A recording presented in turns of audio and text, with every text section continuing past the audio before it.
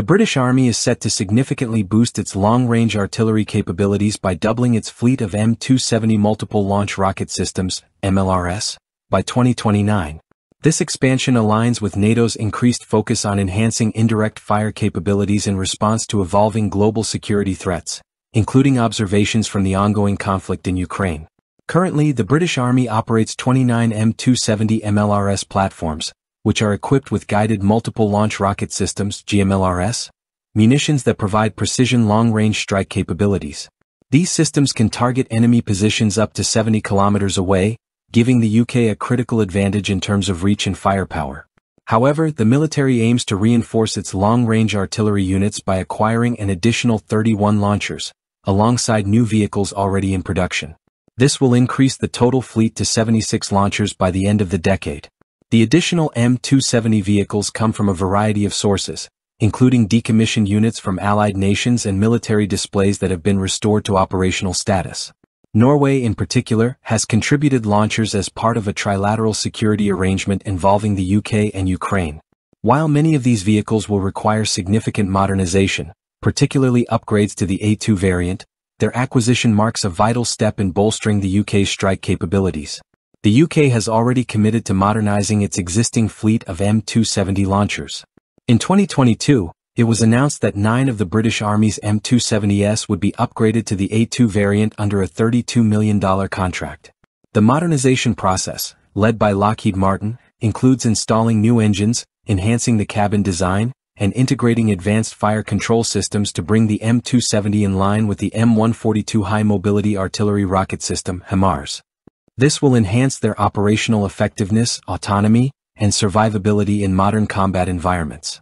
The A2 variant is an important upgrade, offering improved digital systems, faster targeting, and extended service life.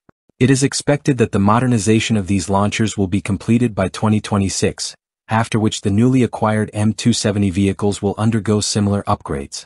This expansion of the M270 MLRS fleet is particularly timely given the UK's recent donation of over half its AS-90 Braveheart 155mm self-propelled howitzers to Ukraine, which has left a gap in the country's artillery resources. To address this shortfall, the British Army has temporarily acquired 14 Archer 155mm howitzers from Sweden, but these are seen as an interim solution. In the longer term, the UK is awaiting delivery of the RCH-155 self-propelled howitzers, currently under development with Germany.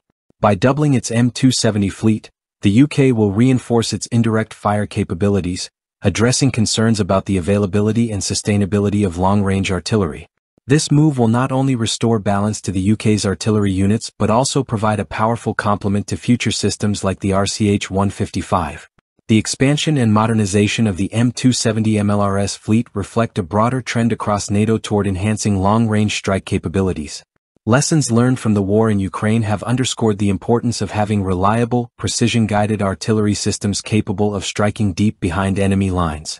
The M270 MLRS, often considered a tracked version of HIMARS, is highly valued for its versatility and firepower. Capable of launching 12 rockets in under 60 seconds, it can deliver sustained fire missions from a protected, armored platform. Each vehicle is equipped with two pods, each housing six rockets, which can be reloaded autonomously without exposing the crew to external threats.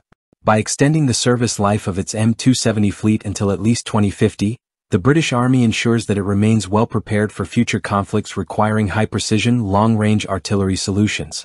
As the UK's artillery capabilities expand, the British Army is likely to undergo a significant restructuring of its long-range artillery units. With 61 M270 MLRS platforms already on order and more expected by 2025, the Army is poised to become one of Europe's leading operators of advanced rocket artillery systems.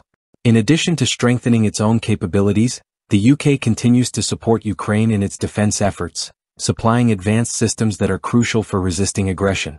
The British Army's long-term investment in the M270 MLRS not only enhances its firepower but also reinforces the UK's commitment to NATO's collective defence strategy.